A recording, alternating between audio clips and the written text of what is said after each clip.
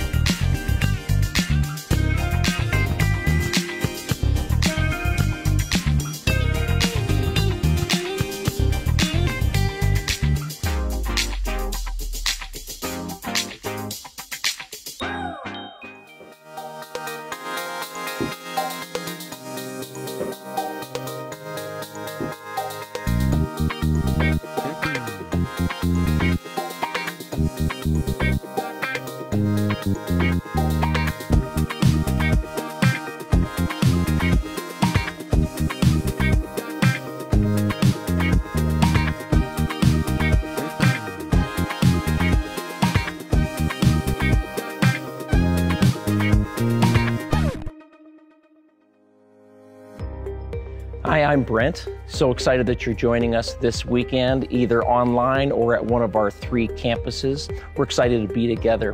Hey, if you've maybe just recently joined or haven't necessarily been a part of this, we would love to connect with you. Uh, you can text I'm new to the number on the screen, and we would love to reach out to you. Hey, over these next few minutes, uh, I would ask you to participate with us, to engage in worship with uh, Cameron and Chanel and Grayson.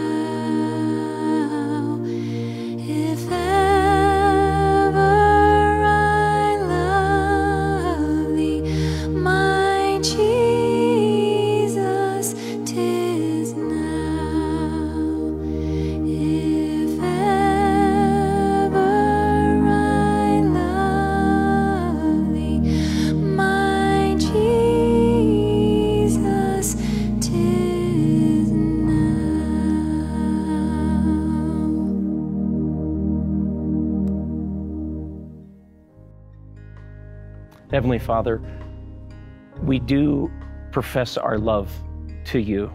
God, thank you that you have first loved us, that you have sought us, you have pursued us, and God, you have great plans in store and in mind for us in our lives. And so, God, we offer ourselves to you. We offer our lives, our circumstances, our relationships. God, you know the struggles that we have, you know the challenges that we're facing. God, would you be bigger than those things are to us and in our own lives? And Father, in these next few moments, as we open up our hearts and our minds to you, God, would you use Scripture? Would you use your word to, to do some work in our lives, God, to transform us? And more importantly than anything else, God, we want an encounter with you. Thank you that your answer to that prayer is always yes and amen. And we pray this in Jesus' name. Amen. Hey, one thing that we're really excited to let you know about is January 30 and 31st, we're going to be starting a new weekend series, and it's a study on the book of Ephesians. And along with that, we're going to be rolling out some new small groups this year, if you're not connected, I really want to encourage you to get involved in a small group.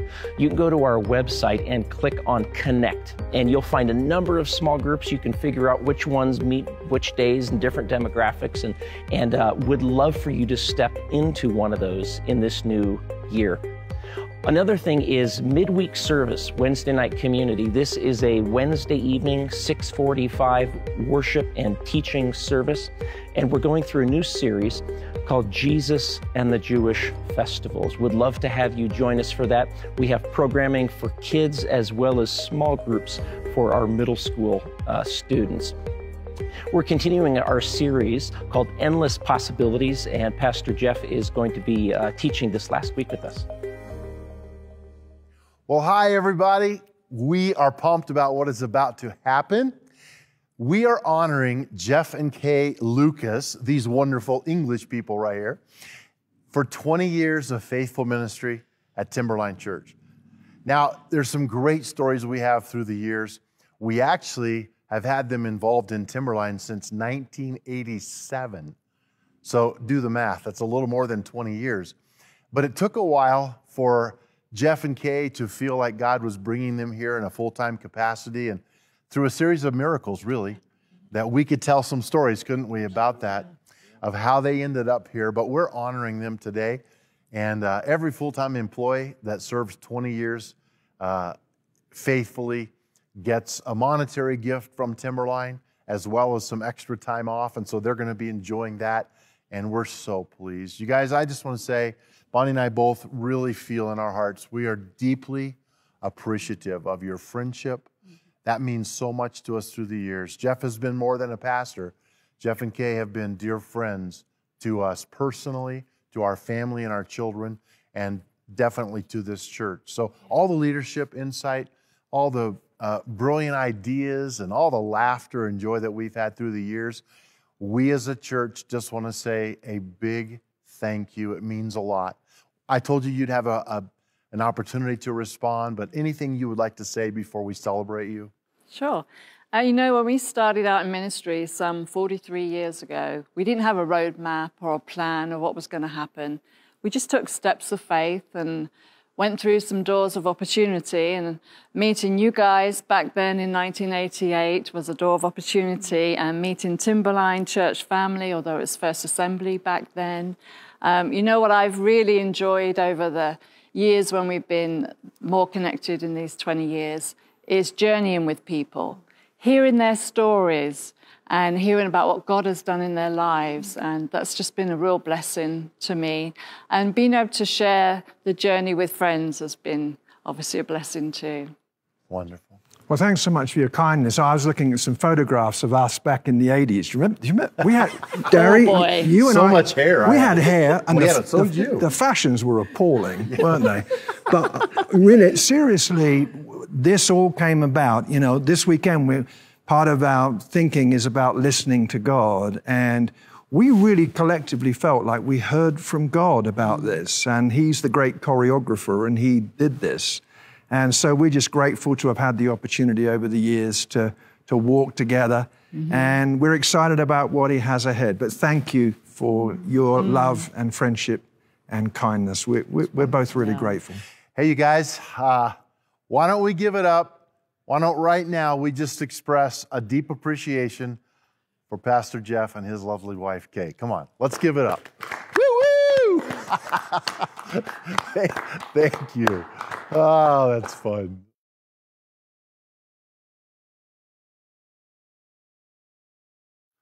Well, once again, thanks so much for joining us online. This is the final week of our short series, Endless Possibilities. Endless Possibilities. And this weekend, we're thinking about what to do now. We're going to be looking at one of the most unfamiliar stories in the Bible. It's found in the book of Daniel, and a story that unfolded 2,600 years ago when the people of God were in exile in Babylon. And some young members of the Judean uh, nobility, Daniel and his three friends, we know them really by their the Babylonian names that they were given, Shadrach, Meshach, and Abednego. These young men, probably between 12 to 18 years of age at the most, were forcibly deported from their beloved Jerusalem and then placed in a three year training program in the royal household of Babylon, where King Nebuchadnezzar, the most powerful man in the world, living in the largest and most beautiful city in the ancient world, that's where he held court. It must have been awful and confusing, but the boys begin to really excel and flourish, and things are going rather well until one night the king, Nebuchadnezzar, has a dream. And what unfolds thereafter is a national crisis and actually a personal crisis for the Hebrew four, if I can describe them like that. So I'm going to read some verses from Daniel chapter 2 uh, that will summarize the story for us. Daniel 2, verse 1 says, In the second year of his reign, Nebuchadnezzar had dreams. His mind was troubled and he could not sleep. So the king summoned the magicians, enchanters, sorcerers, and astrologers to tell him what he had dreamed.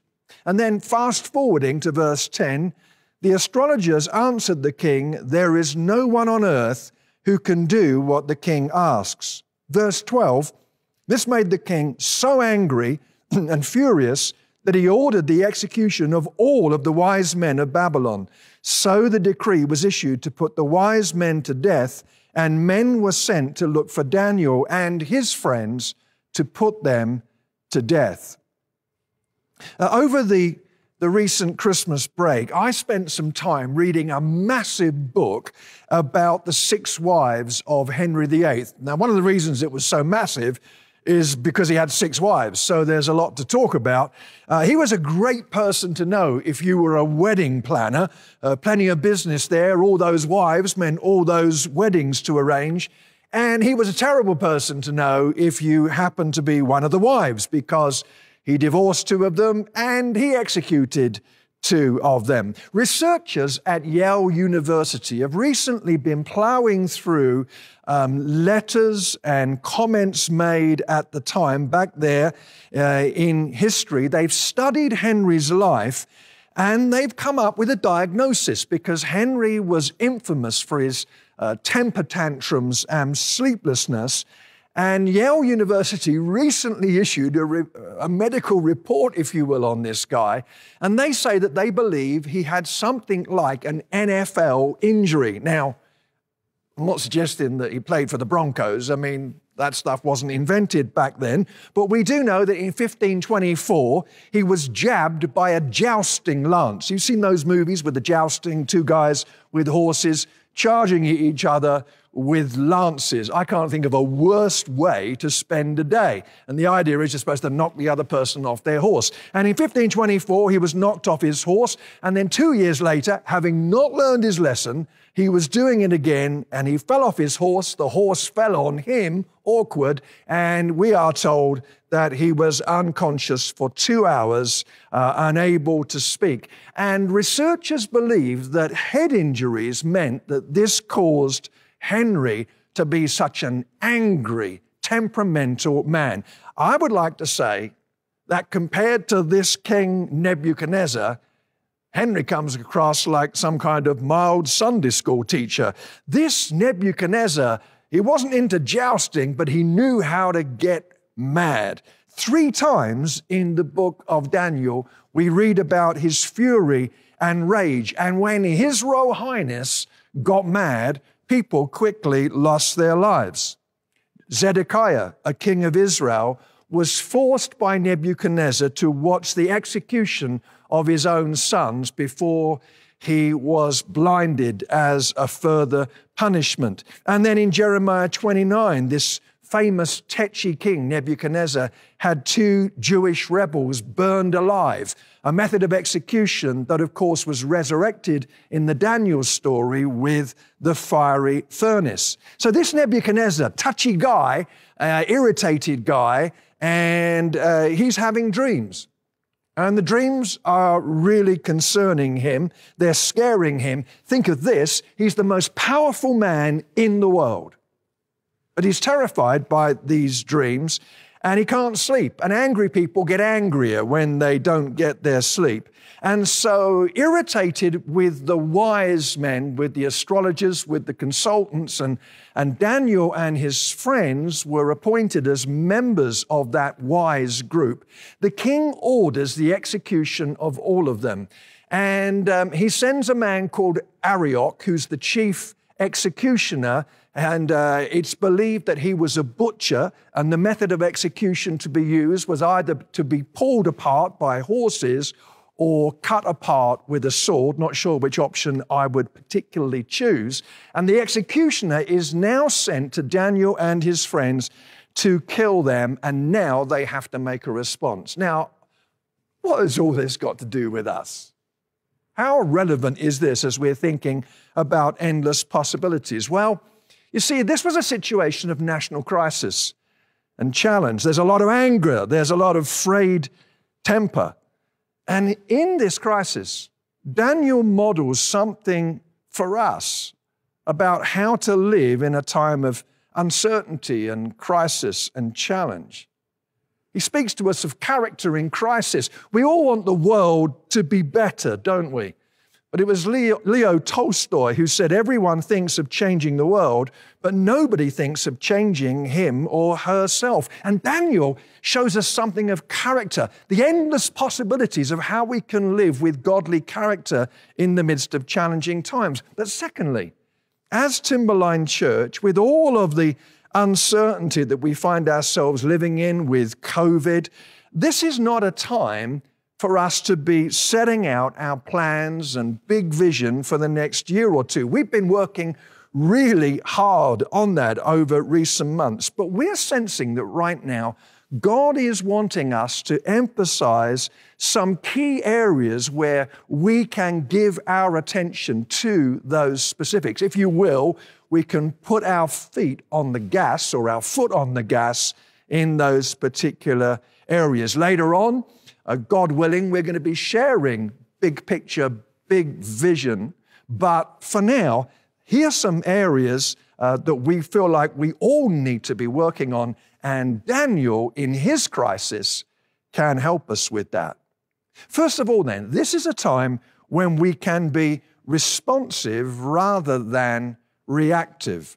Responsive rather than reactive. We read in chapter 2 and verse 14 when Arioch, that's that butcher guy, uh, the commander of the king's guard, had gone out to put to death the wise men of Babylon, Daniel spoke to him with wisdom and tact.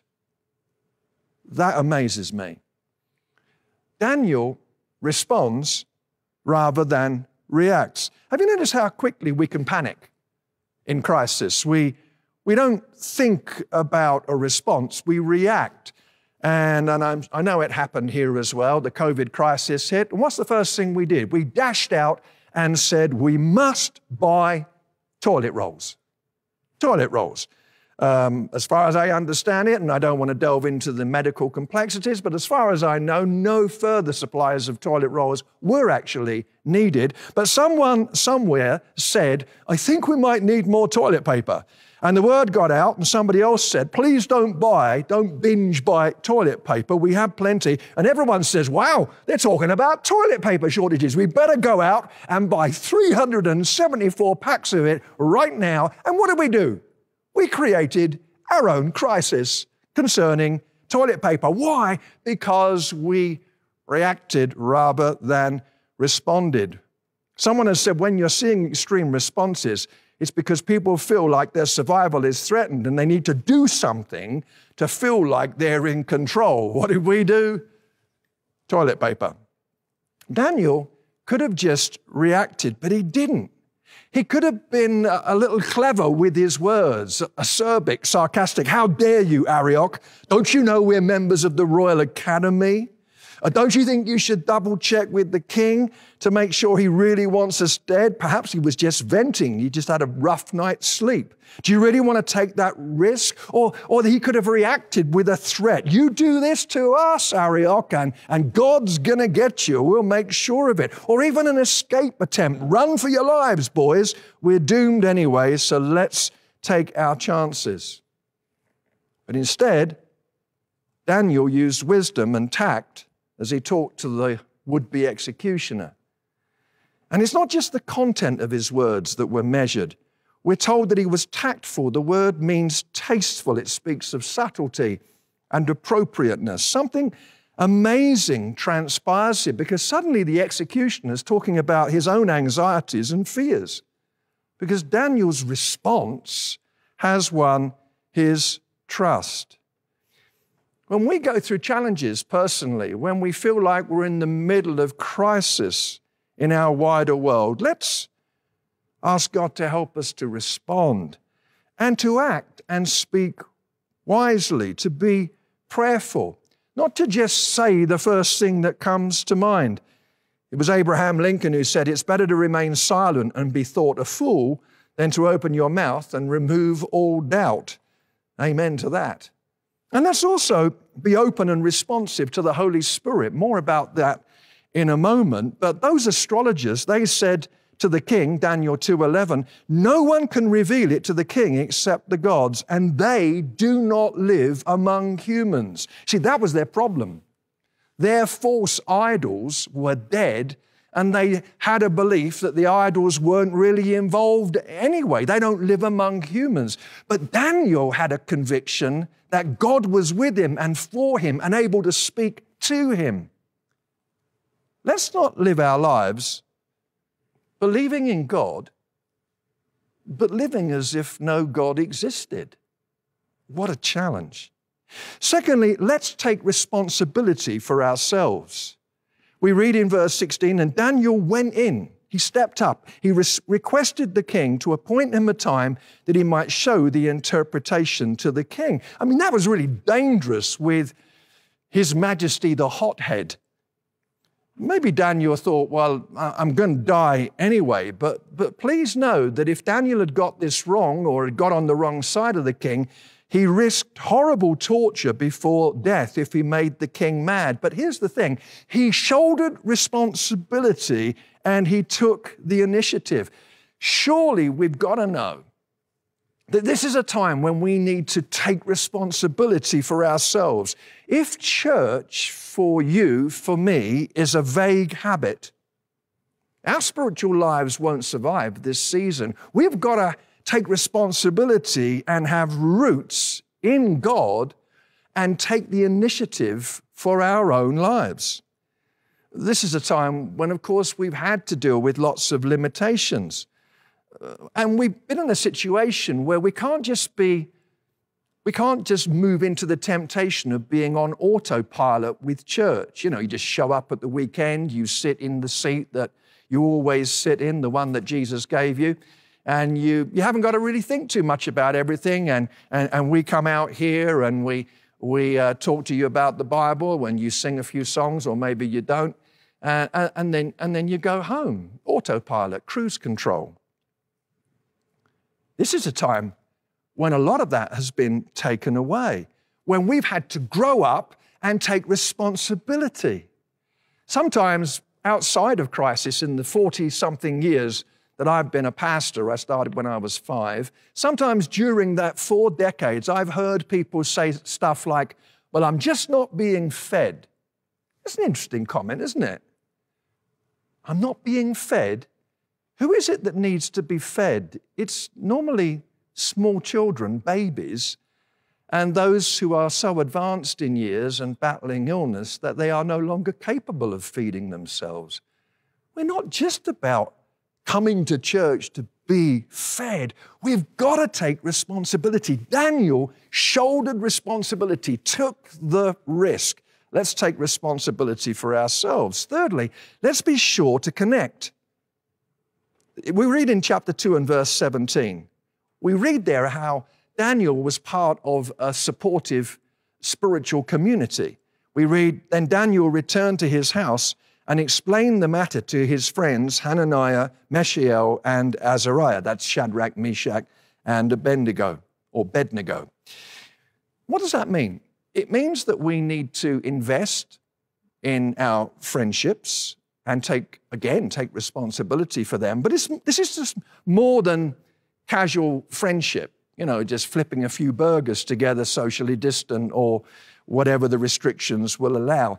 Daniel was part of a supportive, prayerful community. Church matters.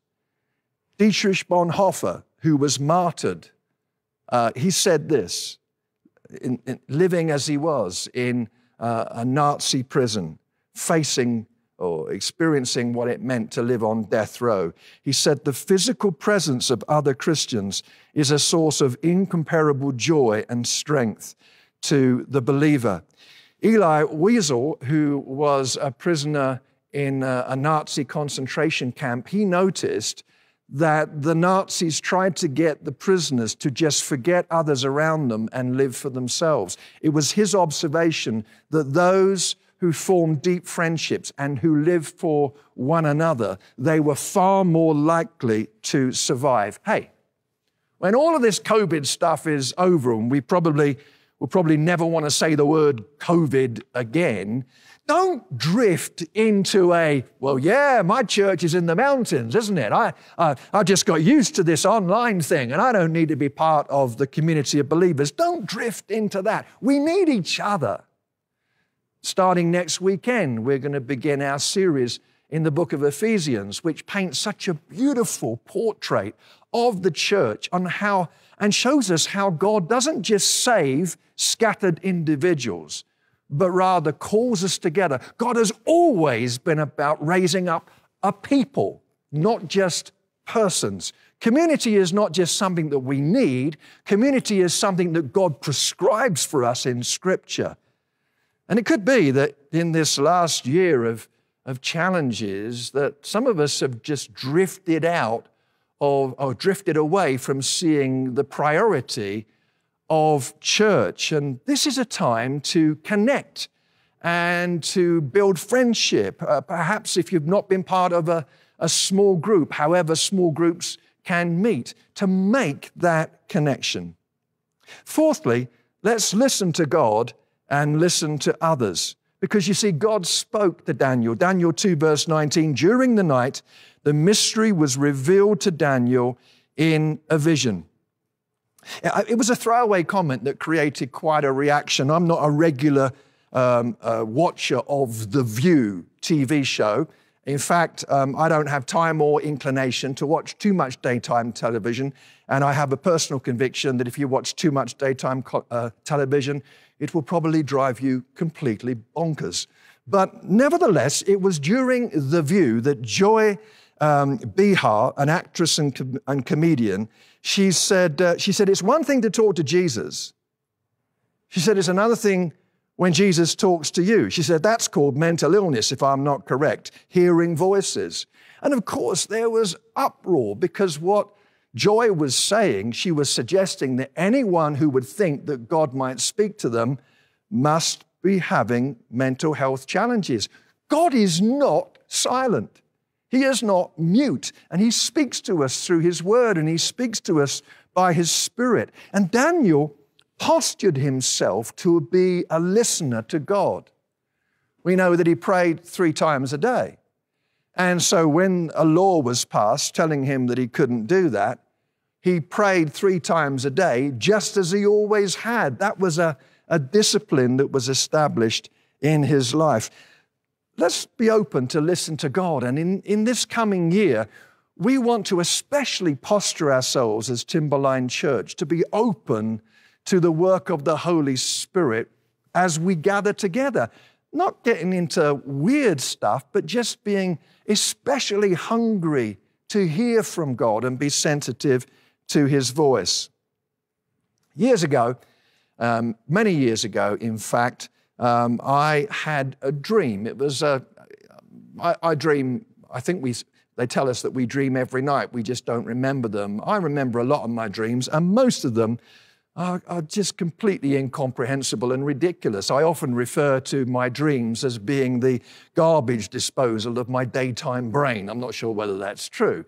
But I had this dream, it was very vivid. I was standing on this railway station in England, and uh, I looked around, and the name of the station was Pemberton Station. Pemberton Station. And I was talking to somebody on the platform, and they were telling me all this stuff about someone called Pemberton. And I, I woke up, and then I went back to sleep, and I think I dreamed it again. And I got up the next morning, and I felt very strongly that God said to me, Today you're going to meet somebody called Pemberton and you're going to tell them what I told you last night while you were quiet enough to listen because you happened to be sleeping. Well, up until that point in my life, I had never met anybody with the surname Pemberton. The chances weren't good, and I was due to speak to a leadership group of 50 people, and they'd all pre registered for the course. So, with great excitement, I looked down the list would the Pembertons, or Mr. Pemberton, Mrs. Pemberton, Miss Pemberton, would someone called Pemberton, a dog called Pemberton, would someone with that name be on the course? There was no one. So I thought, great, it was the pizza. So I drove to uh, where the course was being held and uh, went in and, um, and was just about to start the day when a couple rushed in at the back. And they said, We didn't sign up. We're really sorry. We heard about this, but we'd like to sign up for the day. And I said, Oh, that's, that's no problem. What, what's your names? Mr. and Mrs. Pemberton. I mean, my hair always stands on end. It's just the way it is, but my hair stood on end. And they must have thought I was rather weird because I said, Well, welcome to the course. And I had a dream about you last night. They're probably thinking, Hello. And during coffee, I was able to share with them what God had shown me. And they said, This is absolutely incredible.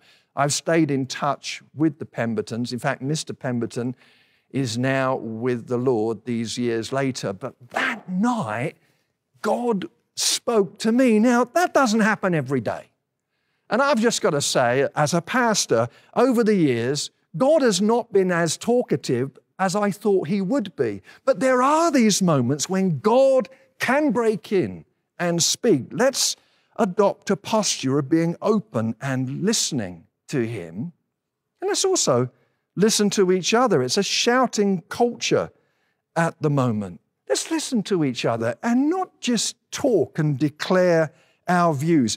Don't be one of those people who endlessly finishes other people's sentences. It's been said that if you listen to the conversations of our world between nations as well as between couples, they are, for the most part, dialogues of the deaf. When we listen to each other, we're saying, You're, you're important, you matter, your opinion is worth hearing. Well, the last thing is this, and that is find avenues of sacrificial service. We read in Daniel 2:24, then Daniel went to Arioch, whom the king had appointed to execute the wise men of Babylon, and said to him, Do not execute the wise men of Babylon. Take me to the king, and I will interpret his dream for him. This was the crunch moment. He'd, been, he'd asked for time from the king, and now he had to put his neck on the line, literally, and serve. And there's something we could miss here because he appeals for the lives of the other wise men. And if you look later in Daniel, it's some of the wise men who conspired against Daniel's friends. We don't know definitively that they were the same ones. But what we can see here is Daniel stepping up to serve.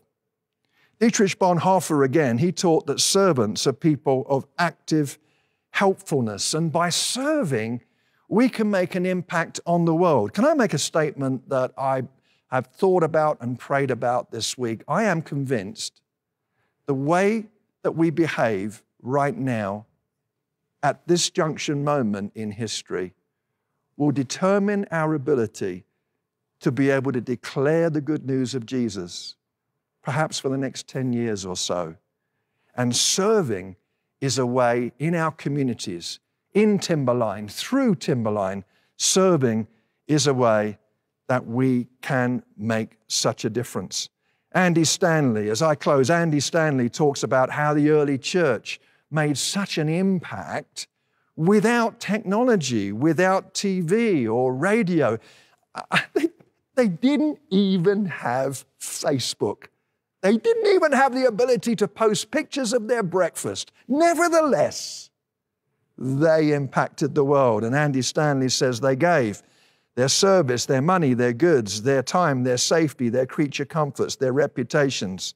They gave to their own, but not just to their own. They scattered good everywhere, freely, indiscriminately. They had no expectation of payback. They loved the unlovely. They crossed over the street like good Samaritans. They looked for sweaty feet to wash and went even further. When terrible plagues hit, and huge swatches of the population fled the cities, abandoning the sick. The Christians stayed behind, nursing the ill back to life, which meant that some of the carers died in the process. This was no holy huddle. When pagan priests fled, the Christians cared for the sick pagans, many of whom converted to Christ, unsurprisingly. Serving. Serving, and it might simply be that serving. You know that gentleman who lives just down the road from you, who lives by himself and he hasn't seen anybody for weeks? It, it might be that a, a card through his door or a phone call, and can I pick up some groceries for you? It could be that a kindly phone call. Yes, it can be about participating in a program, and thank God for our amazing volunteers here at Timberline. But it can be about making ourselves available to simple acts of kindness that no one will ever write down but can actually change a life.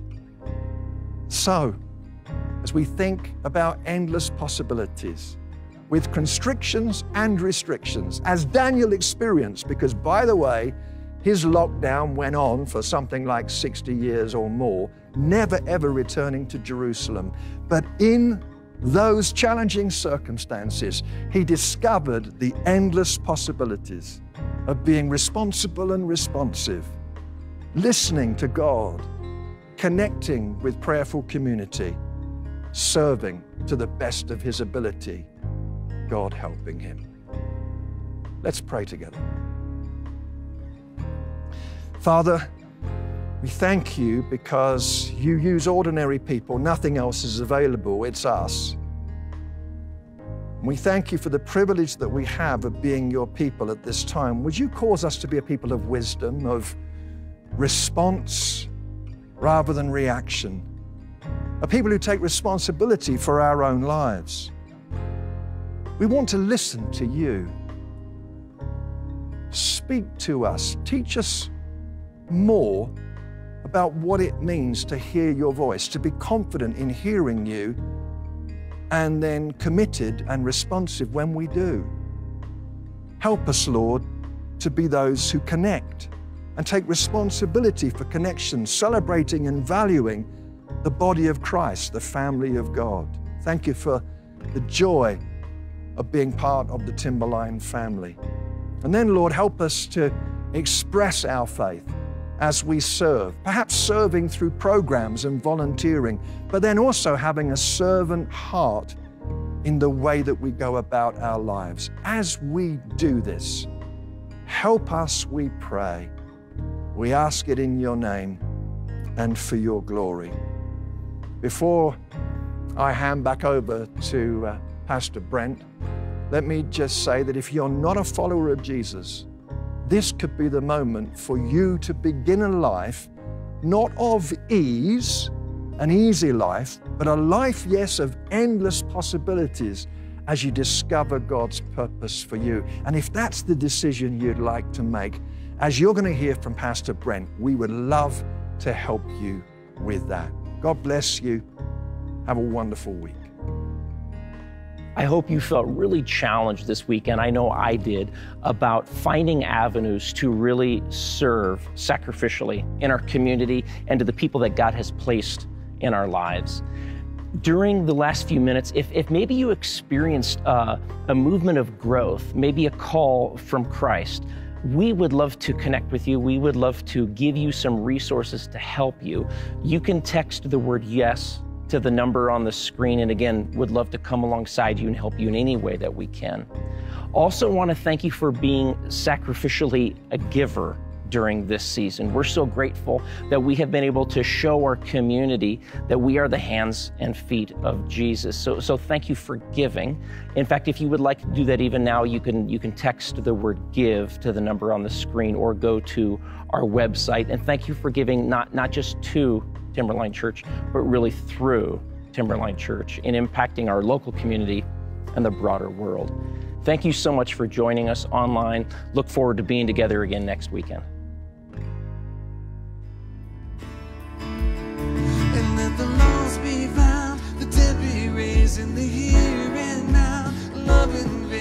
Church live.